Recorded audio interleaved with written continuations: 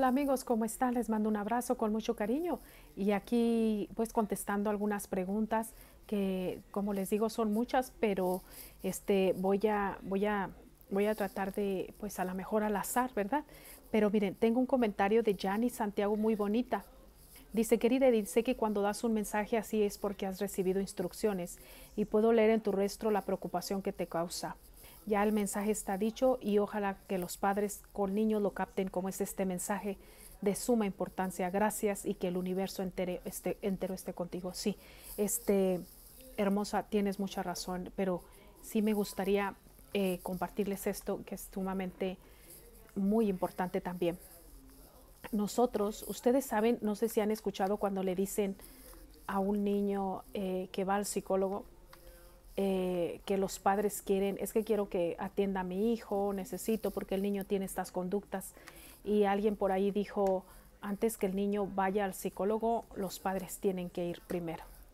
Y es verdad, porque por lo regular el problema no es el niño, son los padres que no han podido canalizar la, a veces los niños muy hiperactivos o por la comida tan procesada, todo lo que hay más de 200 tipos de autismo, entonces aquí primeramente los padres necesitan preparación para poder criar un hijo de la forma correcta.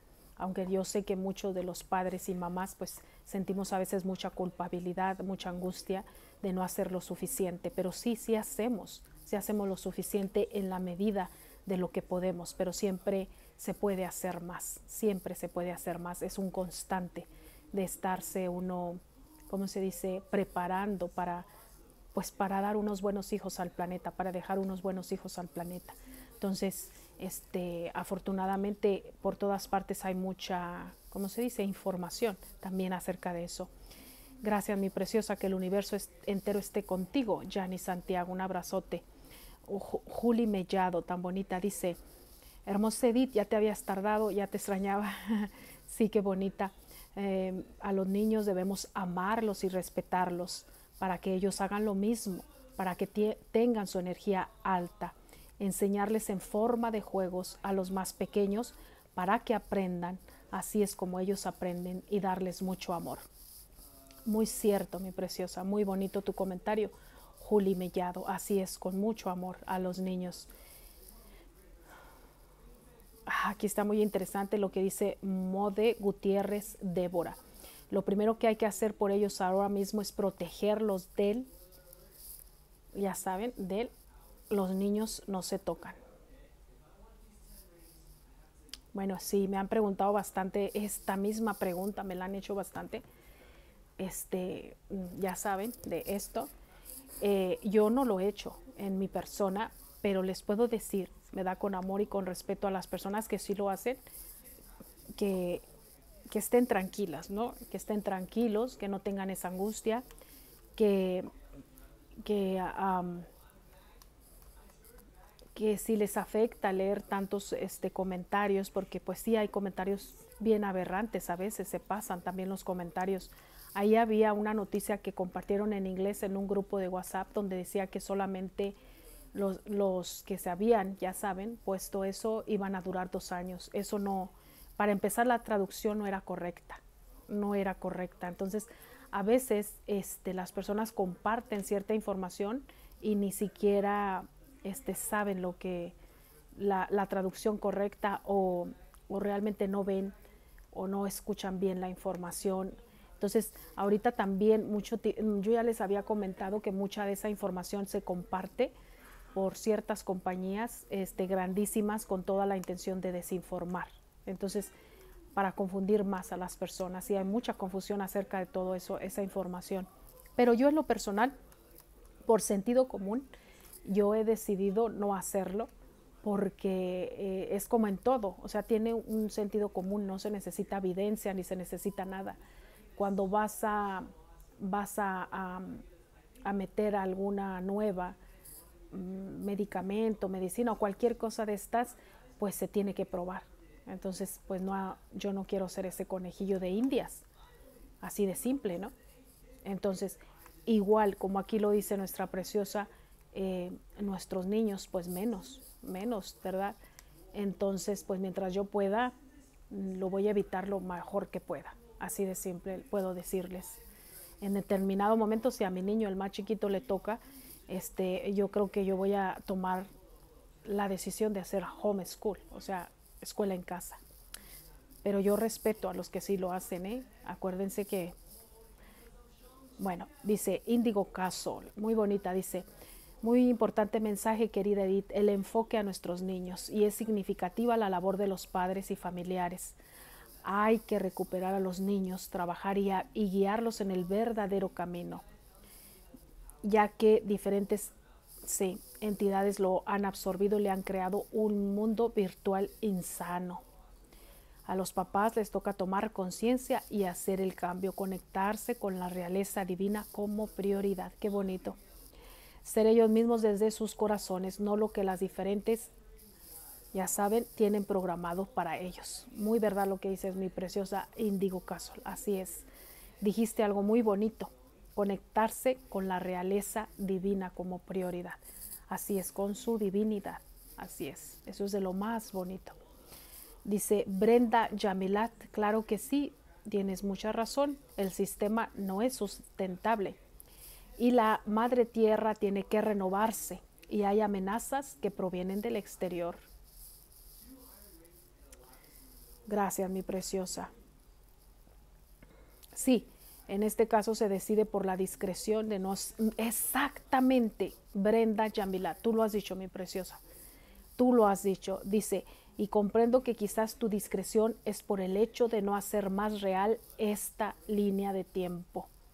Gracias, Brenda. Así es, mi preciosa. Así es, como tú misma lo has dicho.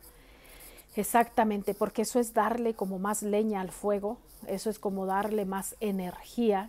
Por eso yo evito hablar de esos temas y me causa mucha tristeza que están saliendo más personas que están hablando de esto.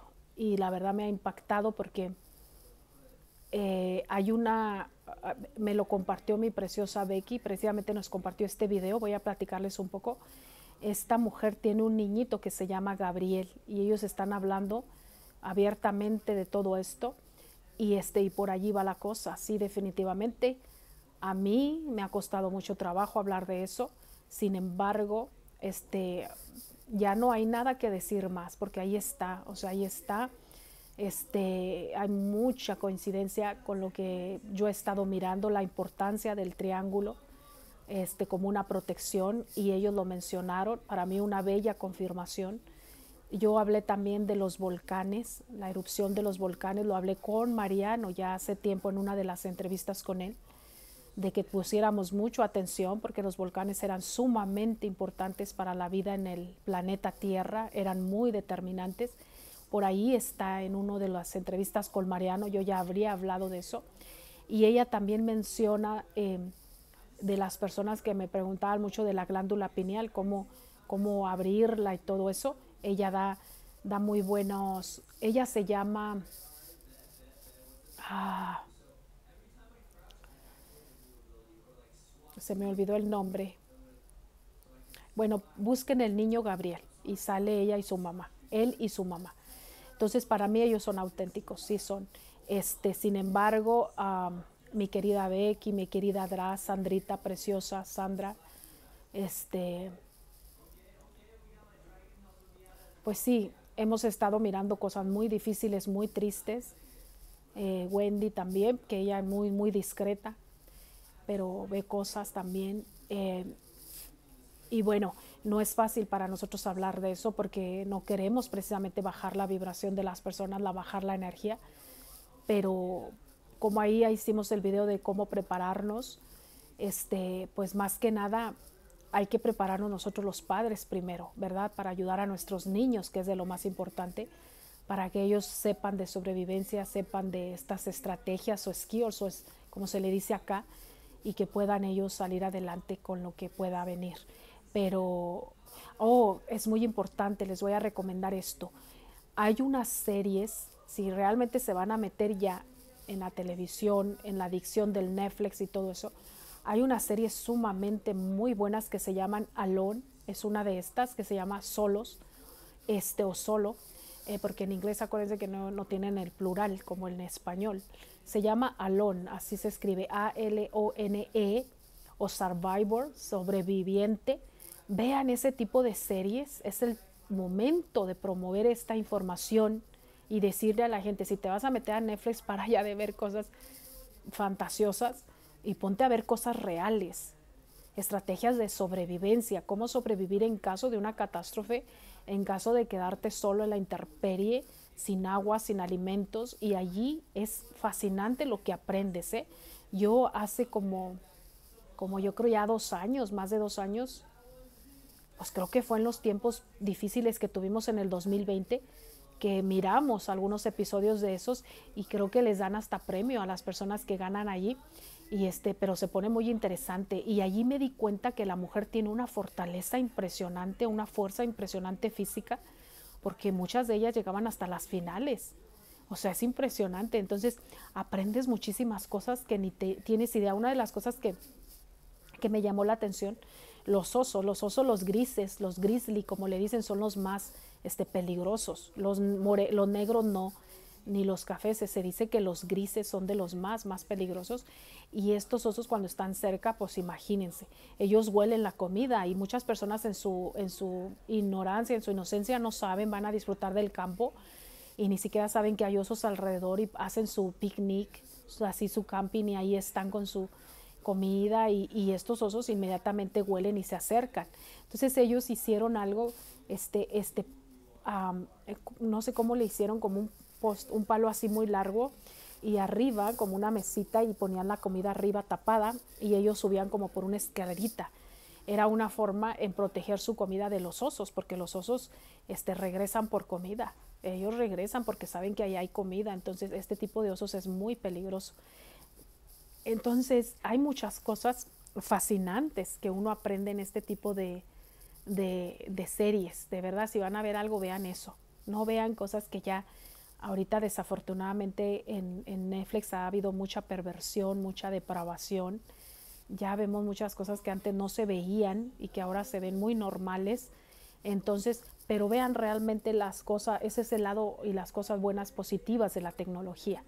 Entonces, eso es lo fascinante de ahora, porque también hace rato hablamos precisamente de esto pensando no le decía yo a mi preciosa por teléfono, le decía, es que no es que, la, ah, porque ahorita mucha gente está hablando de diferentes síntomas, dolores de cabeza, que tengo migraña, que tengo dolor aquí, que tengo dolor allá, pero este, la gente de antes también tenía dolores. ya sé que ahorita está de moda decir que, que porque el cambio de la energía, que el planeta, que esto y que el otro, sí, sí hay, por supuesto que tiene su efecto, eh, tiene lógica, ¿no? si la energía, la vibración se eleva, pues hay cambios en el cuerpo físico también. Pero también lo que tenemos ahora más pues son los medios de comunicación, diversos medios de las fuentes. Entonces hay forma de comunicar y, y todo el mundo sabe lo que te está pasando, ¿no? De aquí al otro, de un continente a otro continente. Y antes no existía eso, entonces, pero dolores de cabeza, dolores del cuerpo, de espalda, pues siempre han existido. Eso no es algo nuevo. O sea, pero en fin, bueno, está bien, ¿no? Eh, se comprende. Vamos a continuar con los mensajes. En verdad, si van a este, invertir su tiempo en ver televisión, vean ese tipo de programas. No hay que alarmarse, no hay que alertarse, hay que mantener la calma, hay que estar tranquilos y este y, bueno, dice Joaquín, que, que, me parece que su nombre es ah, Graciela, no recuerdo bien. Dice, aunque no le lo creamos, esperemos que nunca lleguen estos tiempos difíciles. Dice, yo vi el mundo en la oscuridad y como grupos de personas que se daban turnos alrededor de un gran fuego para cuidar de los que descansaban. Era muy triste y eso me hizo pensar a ser precavida y aprender a hacer huerta, hierbas que curan y guardar semillas. Dios quiera que eso no llegue nunca. Un abrazo, hermosa Edith. Gracias, mi preciosa. Graciela, me parece, que aparece como Joaquín Review. Gracias. Mónica Tinoco, en tus videos de repente he visto a tu hijo y es más o menos de la edad del mío. Estaría excelente que hicieras videos enseñándole a tu hijo justo lo que nos pides. Qué bonita. sería bonito, nunca lo había considerado. Creo que sería de gran utilidad porque creo que si no lo hacemos es porque no sabemos cómo hacerlo y enseñarlo. Gracias por todo. Mónica Tinoco, qué bonita Mónica. Un abrazo para tu niñito hermoso también, con todo mi amor, muchas bendiciones. Vamos a pensar en eso. Este, los niños, ¿verdad? Sí. Rocío Mendoza, yo ya estoy enseñando a mi sobrina a sembrar y mentalmente preparándola para que ella siempre tenga presente su poder y que con él puede crear su realidad, que no tenga miedo. Qué bonita. Sabemos que van por ellos. Oh, ya sé. He visto que, ya saben, en Estados Unidos les están enseñando el uso de armas. Bueno, hay unos, este, como ya les dije, no sé dónde viste esto hermoso, hermosa, pero precisamente en este tipo de, de, series de survival, en todo eso, sí hay algunos, se les llama prepares, este, algunas personas realmente se están preparando.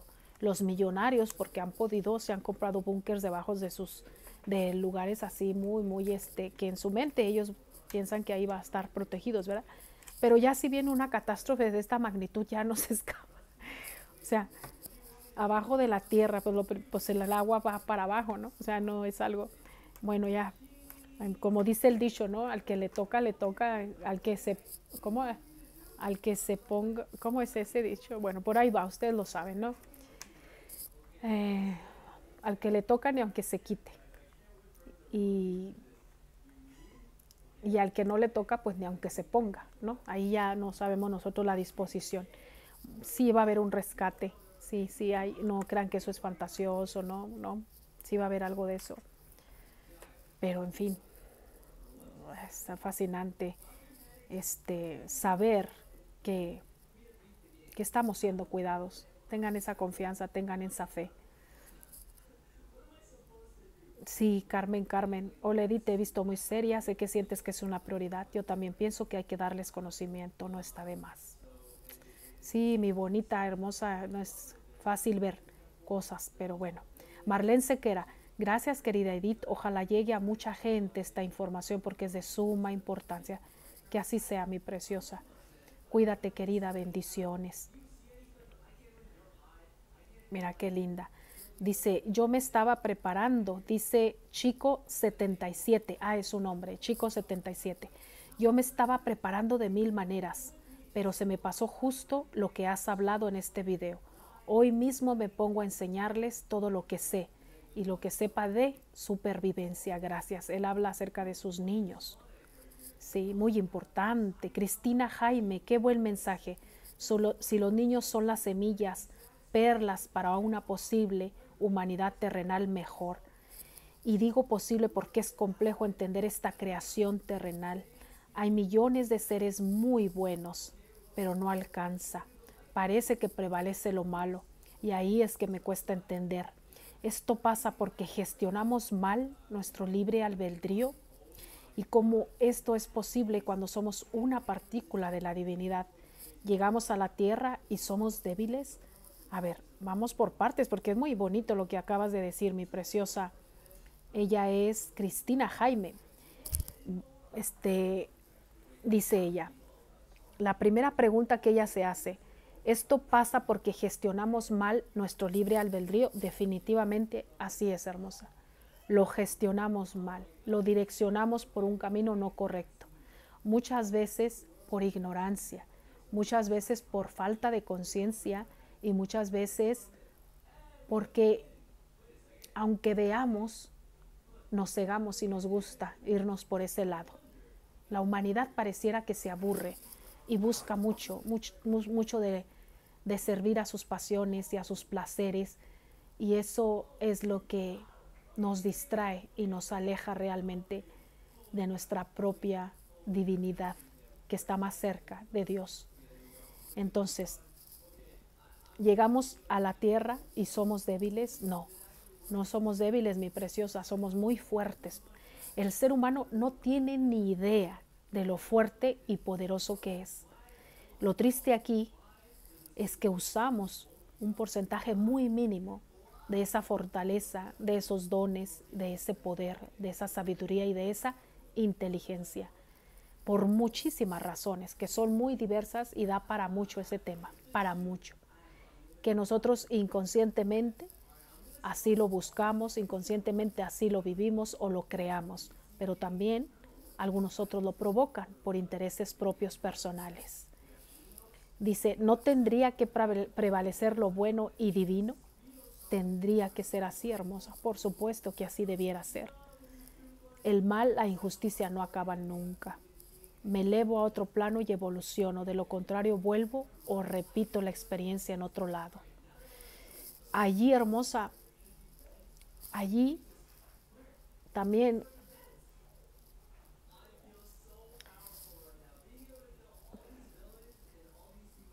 Tú lo has dicho, tú lo has dicho. Como yo lo escribí, primero consciente, después existo. Una persona que no es consciente no puede decidir con su libre albedrío lo mejor para sí mismo ni para los que le rodean. En pocas palabras, mi preciosa. Dice, dice, siguen viniendo nuevos seres buenos y malos y que hacen mucho daño. Todos los seres que vienen son buenos, porque ningún bebé nace malo, se corrompe en el camino. Más bien seguimos repitiendo los mismos errores, así de triste, y que hacen mucho daño. La rueda de nunca acabar. Escucho muchísimo que dicen es porque cuestan ciegos, tampoco escuchan y porque tanta imperfección, el ego, si somos creación divina. Edith, interrogantes a las que no tengo respuestas. De mi parte trato de hacer lo mejor posible para mí el bien y el de la humanidad y tengo mucho amor por la vida, pero alcanza un poquito seguro.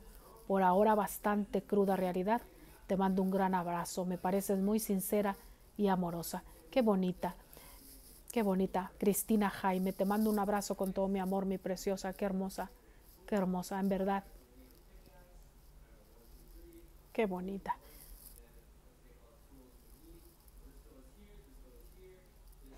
Yo creo que vamos a continuar después porque sí hay más preguntas y voy a ir contestándolas, se los prometo. Discúlpenme porque me ocupo con bastantes cosas, pero siempre los traigo en mi corazón y voy a ir aquí, me voy a, voy a poner aquí una pausa y con todo mi amor les mando un abrazo con todo mi cariño y voy a tratar de seguir respondiendo todas sus dudas de la mejor manera que yo pueda. Gracias.